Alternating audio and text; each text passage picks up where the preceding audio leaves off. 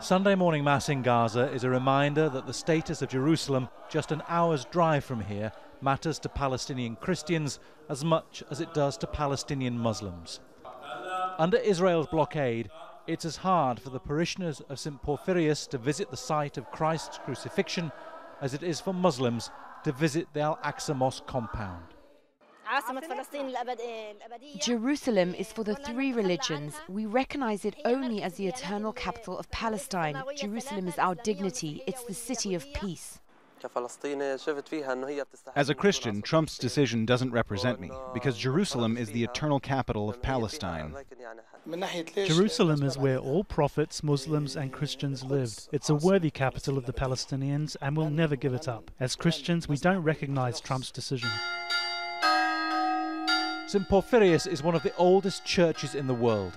It was founded in 407 AD, almost 200 years before the birth of Islam's Prophet Muhammad.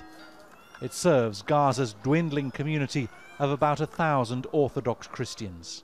How could he recognize Jerusalem as a capital of Israel? I feel sad when he uh, said that because he should uh, stand uh, interbeat between the, the Palestinians and the, the, the Israelis to, to, solve the problem of, of, of uh, the conflict. Confrontation and conflict may be the most visible outlets for frustration and anger here, but for many, prayer is just as powerful. Bernard Smith, Al Jazeera, Gaza.